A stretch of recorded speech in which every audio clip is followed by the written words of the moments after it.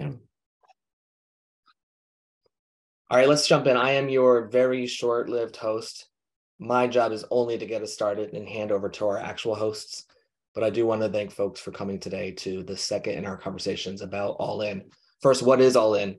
Um, it's a new film that Big Picture put out uh, right before the turn of the year, uh, featuring a number of Big Picture schools uh, in California uh, who talked about their journey discovering Big Picture, getting the community involved, and then going deeply into what it means to become a Big Picture school.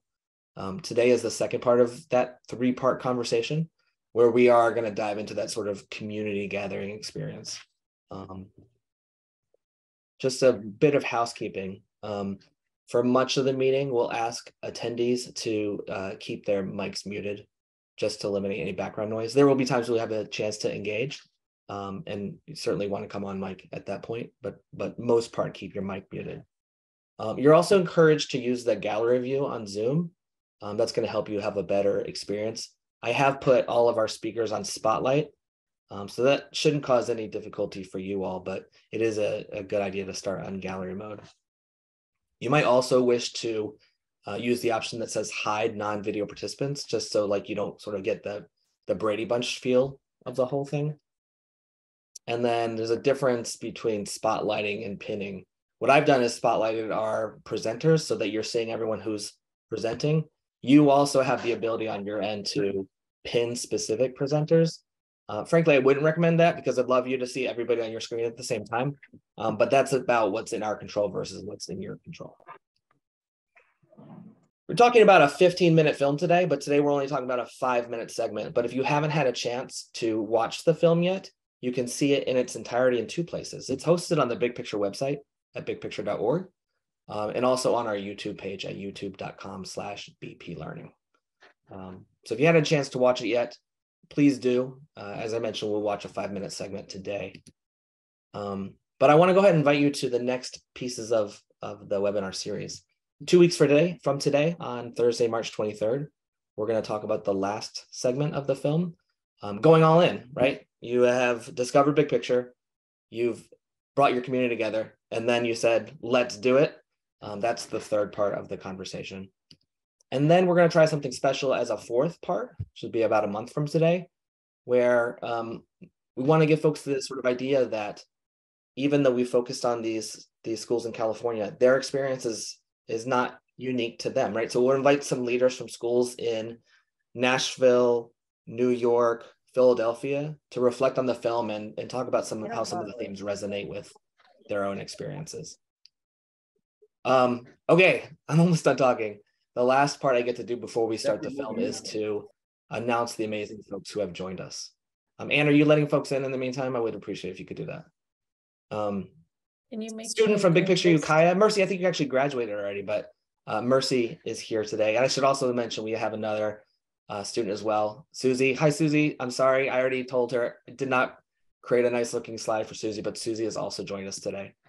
Um, moving from Susie to Susan. Susan Nystrom, welcome. Um, North Bay Met Academy.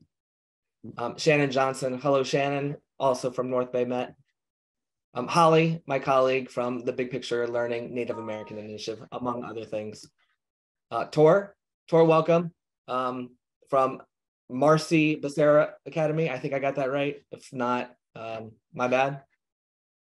Um, Armando also had the great pleasure of working very closely with Armando in the past as well. Armando is one of our hosts today. He's also uh, one of the many one of the many things in his um, responsibilities is working with the Big Picture Learning Native American Initiative. Holly and Armando, if I forget, please take some time toward the end of the presentation to shout out a lot of the sort of opportunities for learning about that initiative toward the tail end of the presentation. Would love that. Um, and then Dana, Dana Jones. Dana was a panelist conversation one and has slipped into the host duties for conversation two. Dana, thank you for joining us today. Okay, so um, one thing we're going to do now before we uh, jump into the conversation is sort of as a way to introduce you to what we're going to talk about. And then, and also a further introduction to some of our panelists is we're going to show you the middle segment of the film. It's about five minutes long. So bear with me as I stumble through the share screen function. Um, making sure as Chris is sound. doing as Chris is doing that, yeah. can you make sure my panelists and um, participants, can you, as you're doing this, we're going to do breakouts right after. So if you can really think about like one question that pops up for you, and we can use those for the panelists, but also a one like moment that kind of stands out to you. So you guys are going to have a, a little bit after this to do breakout and have a discussion um, before we hop into our panel. So one question, one standout moment. All right. Okay, so this is all in, uh, middle section. Here we go. Everything about it looks completely different. If you just like put all that what you think of education is on a table and just look at it and go, "Wow, that's yeah, this is what I know. I'm familiar with this." Now flip that table upside down. When they come in to coach, they ask you a whole bunch of questions. It feels as the professional like you're not supposed to ask me questions. You're supposed to give me stuff. I want a map. I want some documents. Give me a binder. They continue to, in a supportive way, ask what your interests are as a teacher and the outcomes you want. The advisors receiving that coaching connect to what's happening. Instead of feeling like you want a binder, you're starting to feel this is how I'm supposed to be. This is how this works. You have your exhibitions coming up, right? Mm-hmm. For me, the exhibition is I start to think about all the things I've done. Nice. It's more of a for me thing. I just have a knowledge of all the things I've already done and learned. That's so great. Nice. When we need to do something to change, we need to convince people to do it. To convince people, we need to believe and we need to make sure that is the right thing. Connie was just like, yes, let's do this, let's change. But she wanted to make sure the whole staff was on board first. It was unlearning a lot of stuff for us. Having big picture coaches really helped us have a really good understanding of what it's like to be an advisor and to be a school leader, ensuring that what we were doing was in students' best interest. There were certain people that were like, you're going to be an advisor because you have a really good relationship with students, or you're a really positive person, and I think that's going to be something that's going to be important, or you're an adventurer, and, and students love that kind of thing. I think a lot of the first year is uh, establishing vision, guiding values, and recognizing when tradition's gravity is pulling us back toward what we've known. Where shall we start? Top. Start at the top. I think the secret of big picture is to make the kids understand and believe they're an asset. It's amazing as an advisor how little time it takes engaging in that asset conversation so for that young person to start to see possibilities instead of barriers and limits. Looking at the student with what they bring to the table, the positives in their life. To throw out the model of reminding a student who's chronically tardy hey, you're late today. Just being able to say to the student, I'm so glad you're here. Let's get started. For me, it was a relief to approach them with an idea of curiosity. I thought to myself, this doesn't cost any money. This is just me working on how I deal with students. For being here, Brian and Summer. Summer Shadow Day has moved to 10:30. Okay. Um, apparently, one of her chickens got murdered. Oh, no. So that's gruesome. I mean, life on a farm, right? Foxes get in there and that happens. Getting students out into internships is a huge focus of what we do. If you can give students LTIs, learning through interest, internships, have mentors that support them, these students start to build social equity. They're getting out into the community as a necessary component of their learning once I got the internship, it was like a switch that they turned on, and it kind of just helped me, helped me not everywhere now. Students sometimes aren't so hot on their coursework, but if they're in a good internship, it turns everything around. I get to really be part of the community. I go out and I do general contracting, and my mentor, he works with a lot of nonprofits in the area, and it's really nice being able to like effectively help people. I'm like, turning back on their heat. There aren't a lot of adults in the community who don't value electric, engaged youth who share an interest with them. It really was Dana who said, we just need to get a couple kids and get them out. Our students aren't really getting this, and we have never experienced it. One day we just said, you know what, go for it. In this case, it was a student that loved cattle we connected him with Santa Rosa Junior College, School Farm, and he was working with cattle. We had another guy, he got a internship at a fire department. It was the the two of them going out and all the other students going, wait a minute, I want to do that too, that got the momentum going. And so by the second year, we really felt like we were a big picture school. So just thinking about valuing math, what does that even look like? Why would you appreciate math? It's about how you're using it within your area of interest and how like it might apply. I see your smile there and I love it because I smile when I think about that too. It's more of a conversation and something that evolves over time than like a one-time test. We had to go to the board and say, we want to keep doing this. And I was watching the board and they're not getting it. There was one board member that says, you know, maybe we could like let you have it another, you know, maybe five years. No, I need to talk to you from the heart. I said, do it for the students. And it passed. One of the biggest takeaways for me is just what it looks like in practice for these design principles, how they're implemented one school at a time in the same way that it's one student at a time. Big picture learning is contagious. We love having the other schools come to visit us. Having an opportunity to network across space and time. Helping each other with different tactics. It's different every year and it's different with every set of kids. I reached out to another English teacher at another big picture school. He helped me, he gave me ideas. I've gotten ideas from Rhode Island and from LA and from Washington. We all believe in this work, so we all want to help each other. For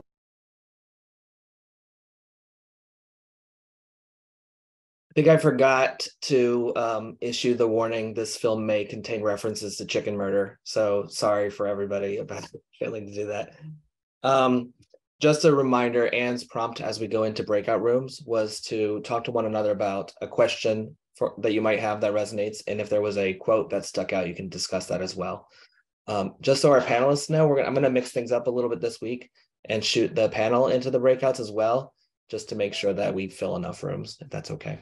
All right, so um, I'll send the breakouts now, and here we go. If you have some questions that you'd like to have the panel ask, um, Armando and Dana are going to be our hosts for and facilitators for the panel, but I will be watching the chat, and I would love to call that out um, and send anything uh, forward for them. So as Chris spotlights it, I'm just going to pass it over to them um, to get to jump us into our panel discussion. Yeah, great. Thank you, Ann. Uh, welcome everybody again. Excited to have this panel discussion and everything. Also, just super honored to uh, facilitate this. So shout out to Holly for thinking that I'm good at things. Um, so question for uh, the panel.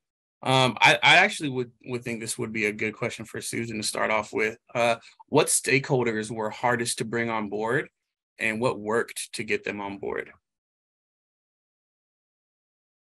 Yeah, that was a, that's a hard question. Um, I can honestly say that the, the hardest stakeholders were uh, educators, um, in particular, um, colleagues outside of our arena. So at the comprehensive settings, as well as um, the board. Um, we did have a superintendent that got it.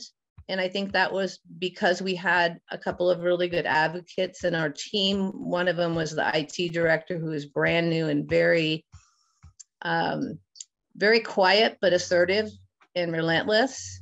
And um, I also had on on my little team um, a vice principal at the comprehensive high school who was a friend as well as a colleague who was, I think, doing a lot of things behind the scenes that that helped as well. And and as a trio, and then of course my team itself, my my my uh, staff um, worked very hard. But yeah, I would say that that um, that the educators were probably the hardest to convince at at at the beginning. Thank you. Would anybody else like to add on to what Susan said?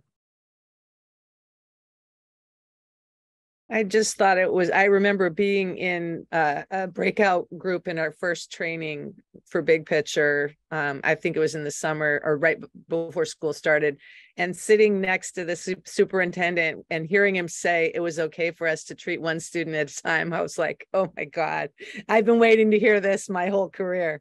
And that, that was, that was the coolest thing. Totally the coolest thing. Like permission instead of forgiveness was like, yes, I would have to say, um, you know, I agree with Susan. It seemed like the educators were, I think, the hardest to push things past. Um, we had a visit uh, when we were still like trying to figure out how to put the boots on the ground, and we had a visit from another uh, school, and they came to us and they were like, "This doesn't make sense." It's like, you know, why are the students playing, you know, doing these cooperative type activities when, you know, it's curriculum, curriculum, curriculum. And we were you know, we tried and we were frustrated is to let them know like, hey, well, this is, you know, what we think is good is, is letting go of that baggage of, I have to, I have to learn something and where they get to share their experiences with us and people didn't get it. And Susan and I just looked at each other and were like, I guess they just don't get it. It's like, you know, you can only talk to people so much about something. And if they're not getting it or they're begging you to convince them that it's better than what they are already experiencing, then you know you're just kind of stuck in there. So it's it's a very uh, weird thing. But um, Susan, I wanted to ask you to kind of um, who were your your first partners like outside of the school that helped you kind of um, get us moving in the right direction?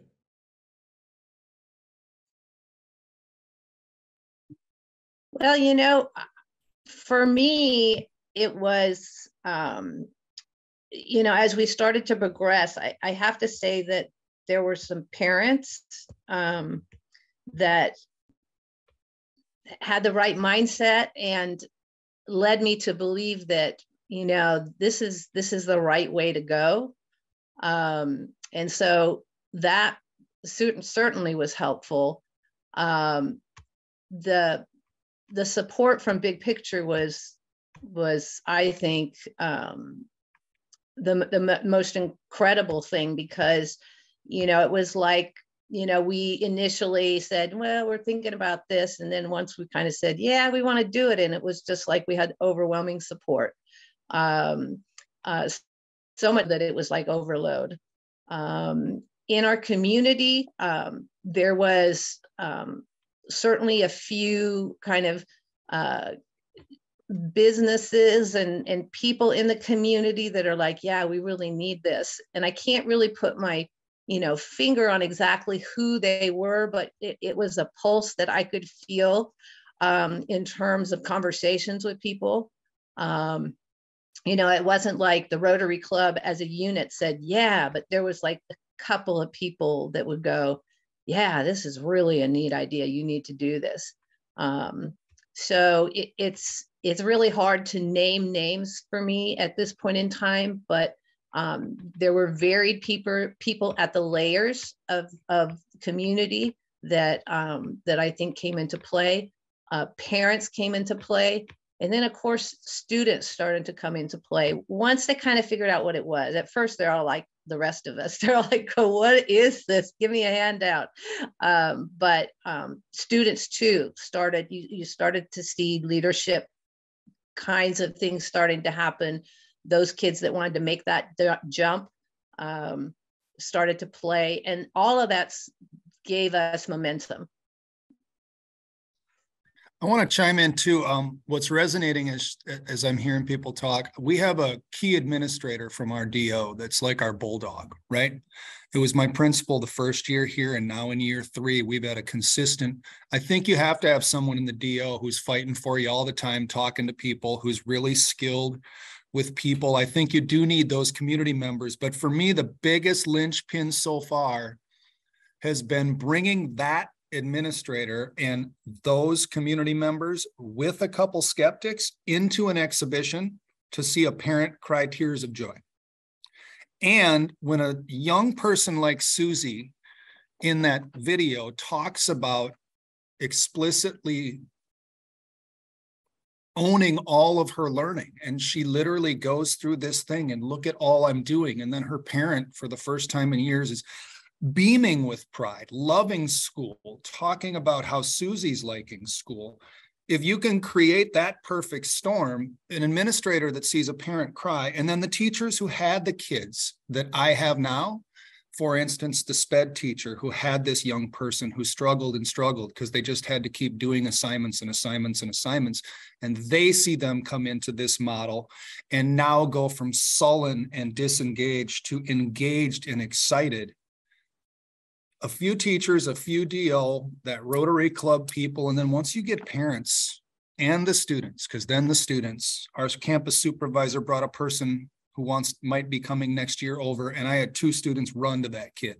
Be like no you got to do it. Like this is super cool. And once that happens and i think at every big picture school we're on the high school campus and every single solitary day i can count one more kid from the traditional high school that comes to hang out in our space with the kids that go to mba so now we have 35 kids in our program but we have 70 kids on this campus that come into our space and get comfortable so Lastly, campus supervisors, custodians are huge assets. You get them on your side too. So there you go. Thanks. Great. Thanks. Uh thanks, y'all. Um, I think something that was that stood out to me, it still stands out to me, right? Um, but I feel like there was an instance, you know, where an advisor was talking about where you have to believe in you know the change that you're trying to make right? And the things that you're trying to do when you're um, you know creating a new system and operating a new system like uh, big picture right? So that switch is really difficult for some folks right? Because it's like i'm just going to revert back to what i knew right and what i know right? And so this next question uh, is from mercy right? Um, especially as a really dope young person right? How did you work collaboratively with advisors and administrators to kind of create a collective vision for your school? And um yeah can you like talk about like that process? Yeah um the best part about big picture is that the advisors are so open and willing to experience anything with you so when i was a student here my learning plan, my vision was not to be a paraprofessional, was not to be in the school system. I was looking more into social work and the medical fields. But the way that Big Picture is and the advisors are, they're just so driven to help you explore yourself and to learn who you are as a person that, you know, they just they shine lights on areas and situations that you wouldn't even take into consideration, right? Like I know I loved working with youth. I know I love working with my community, but I didn't know exactly how I was going to get there. I was very back and forth in careers and in paths that I wanted to do, you know.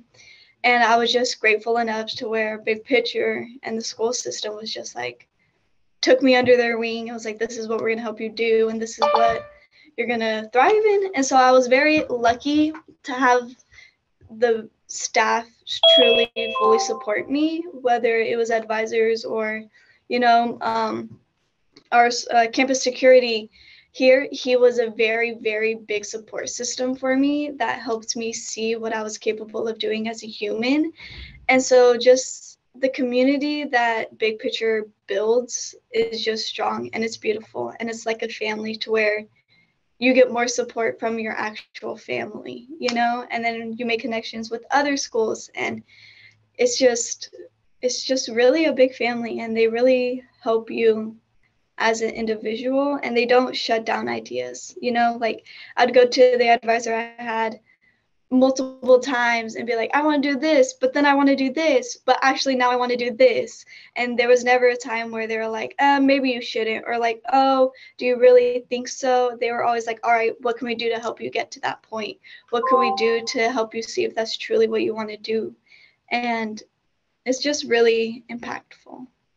And you have to really be open to the opportunities and to the opportunity, well, the opportunities and the community too because a lot of it is just community outreach and you have to be open and willing to reach out to the community to talk to the advisors to complete what you want to complete in life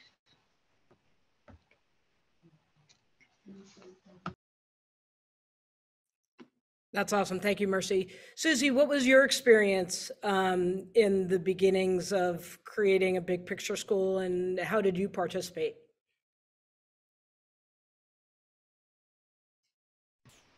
Um, I'd say um, it's been a big change, that's for sure, from going somewhere to being here.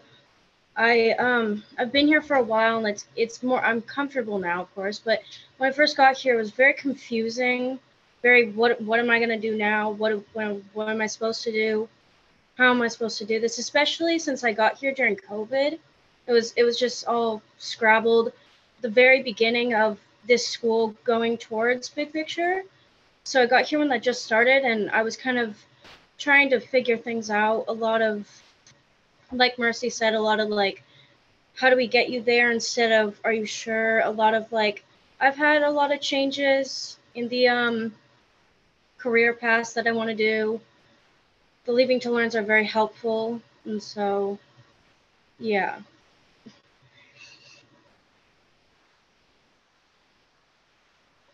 I want to say something. I think Susie, oh, excuse me. Hi, I think Susie brought up a good point. Um, that uh, when a big picture school first starts, um, the student leaders don't know what's going on either. And so it it takes a little while. And then once you get your school going, then you start having students that can model. Um, but it is really challenging, isn't it, Susie, at the beginning, where nobody really kind of knows what's going on. we used to say what we're building the train and the tracks with you guys and none of us know what we're doing Madonna, did you have something you wanted to say? sorry uh, just what mercy was saying about the support i i think that's like really um as a mom as a uh, someone in the community to to hear that from somebody you know the the youth it's it's really important and i and i definitely know that to be true. For my biological kids when i had them in public school i for every new teacher they got um, and this was very hard because it's so much change every year or semester whatever but i had to make sure that those teachers knew that my kids were leaders and i had to humanize my children to each and every teacher with my kids um, that i was guardian to that went to big picture met i didn't have to do that.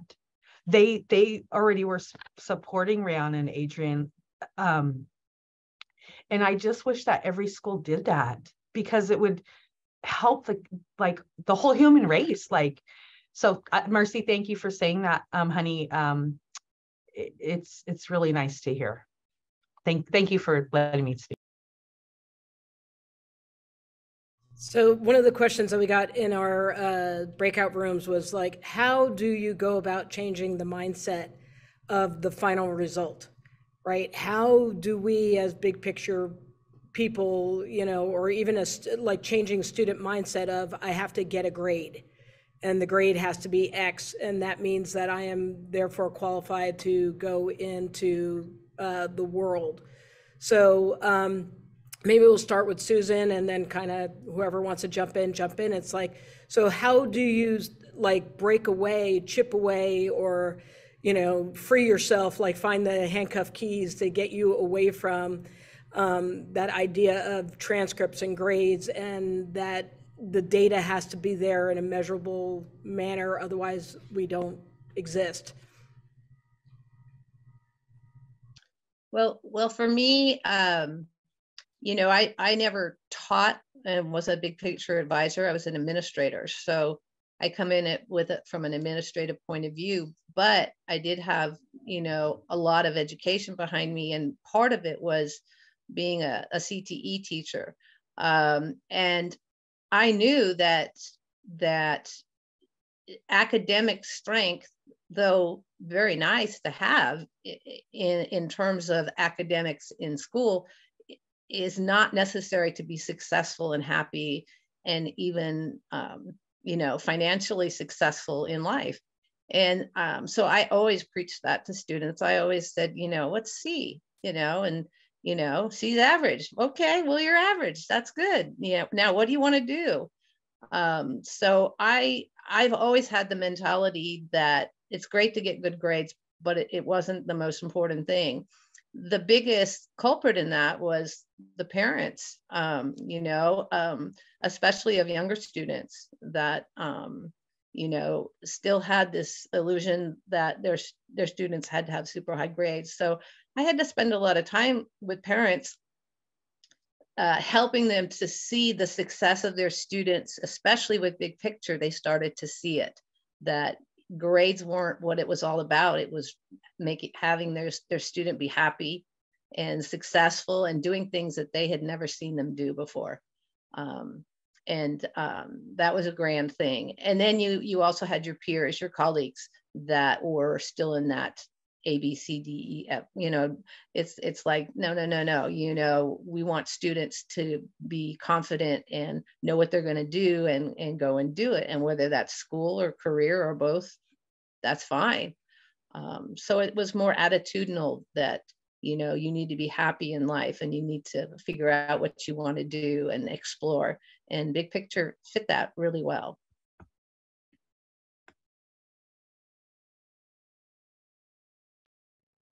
Thor, did you want to comment on that from an advisor perspective? You're muted.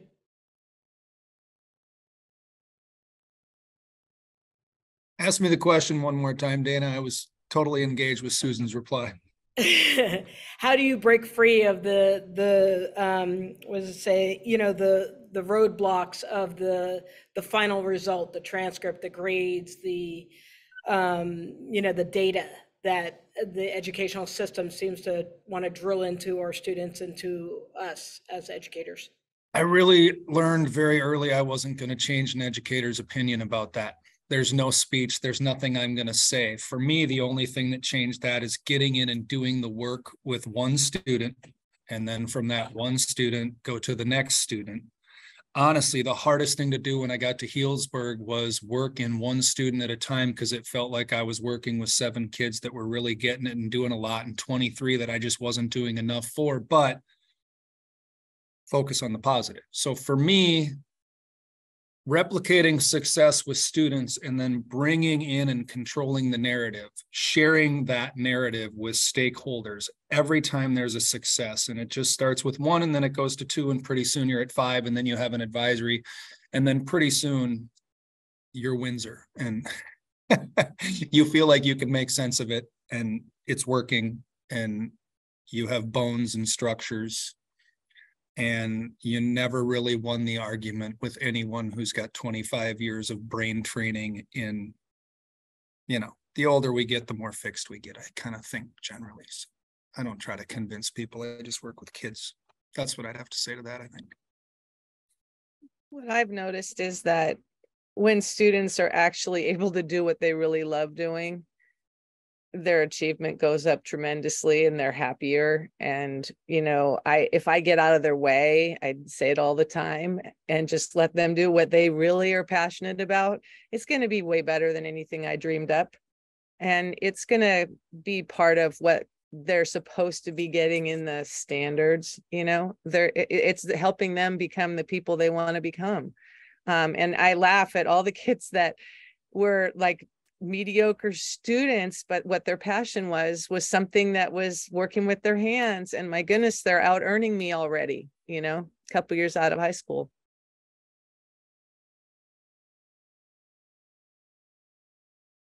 Great. Uh, this next one is particularly for our two students um, who are on the panel.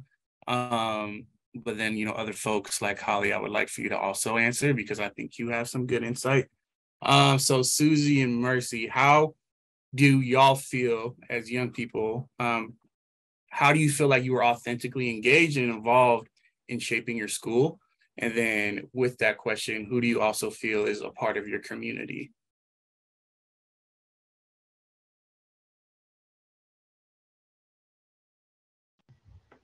You want me to go, Susie, or do you want to? You can go first. okay. Um,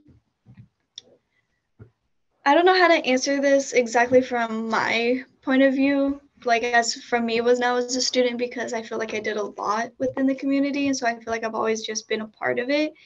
But um a way that I could say at my school, um, right now currently students decided to make a mural on campus.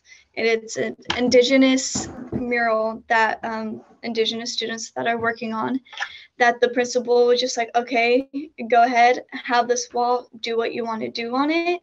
And so over the past two, three months, these beautiful ladies have been on this wall expressing themselves with their community, with us, just taking their time to put it the way that they want to put it. And, you know, they decided that they want to have an unveiling event, but they also want to have Pomo dancers and Aztec dancers come and do a celebration and bless the mural that they're bringing to the school. And so, in ways like that, it's very beautiful to see. I'm very proud of those girls. They're doing an amazing job. And, you know, in that type of way. And the community is very, very involved. We're blessed enough to have multiple tribes around us that want to work with youth, that want to work with um, the students here.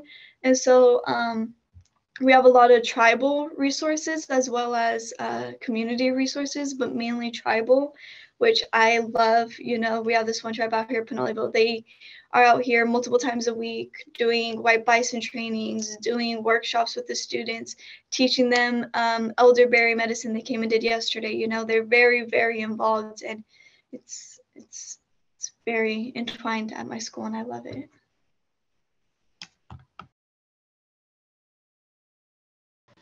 Um, actually, that's um, it's funny since we're kind of doing something similar with the indigenous.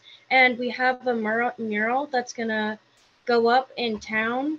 And one thing is we're a really small school. Not many students not many staff but it kind of bring it brings us closer. You know we're like a family a community. We're really engaged with each other take care of each other that kind of thing. And i think that that's just like it just makes it a lot better. It's like magical you know? And we've got this um, a, the break room. We call it a cafe, but it's kind of where things tend to happen. Um, it's just very engaging, and everyone is helping each other out, doing things, getting out to the community, trying to help each other. It's just yeah.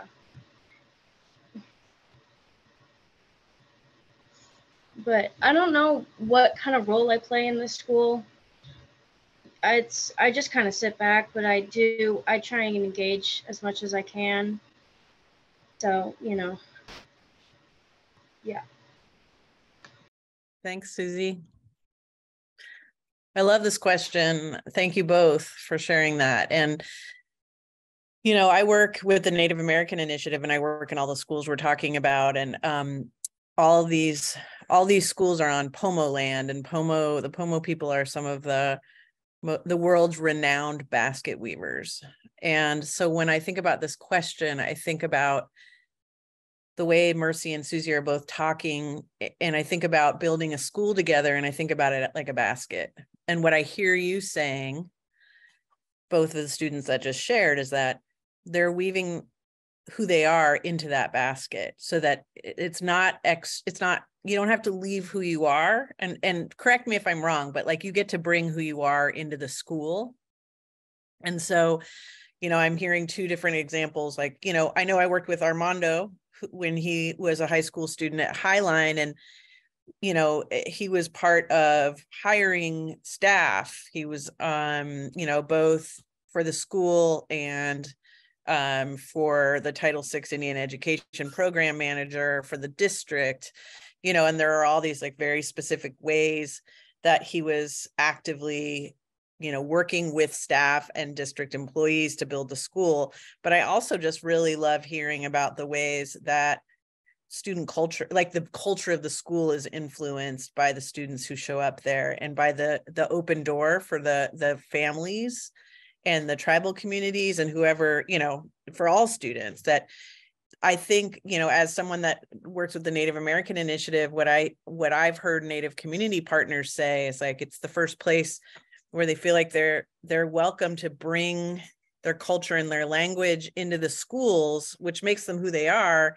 And that instead of um, thinking about, you know, non-Western ways of understanding the world as less than academic or or not relevant, instead you get to um, bring that knowledge not just to the native students but to all the students. Anyway i just uh, and i think those are all ways that the schools are shaped from the beginning by the students and the communities that they are there to serve.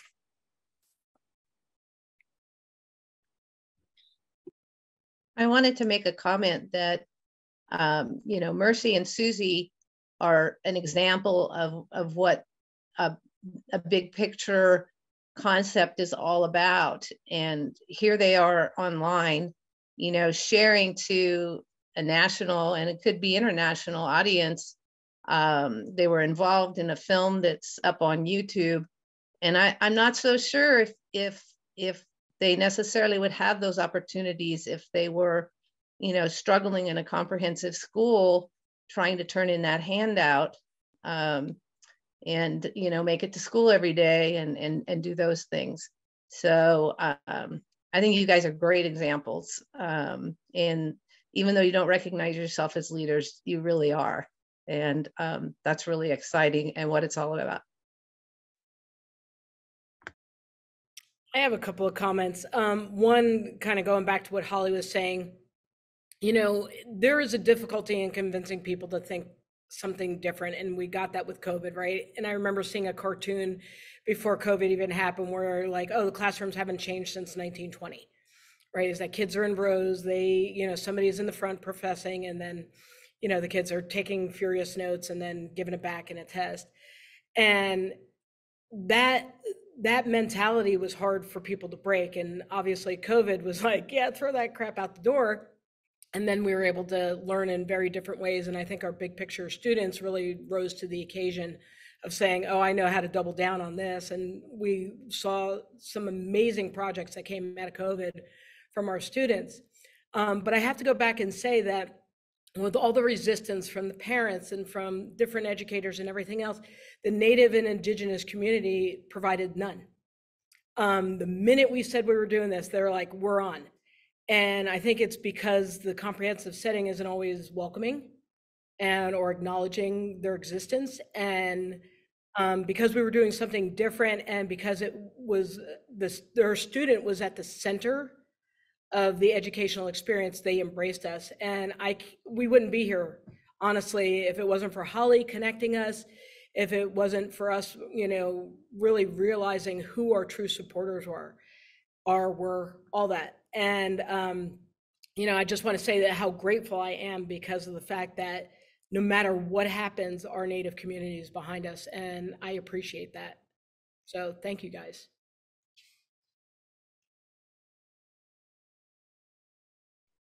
Definitely. I just think like as we uh wrap up, you know, that community is in, intrinsically important to the model of big picture learning, right?